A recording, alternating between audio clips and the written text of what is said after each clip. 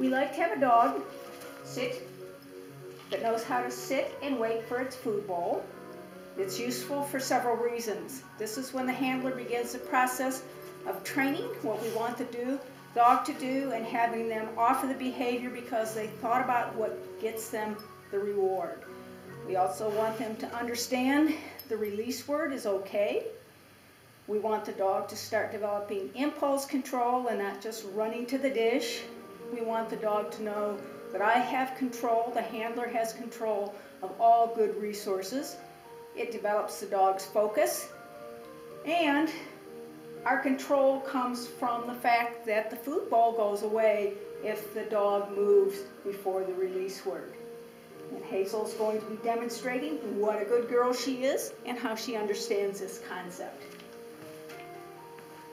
Hazel. What a good girl.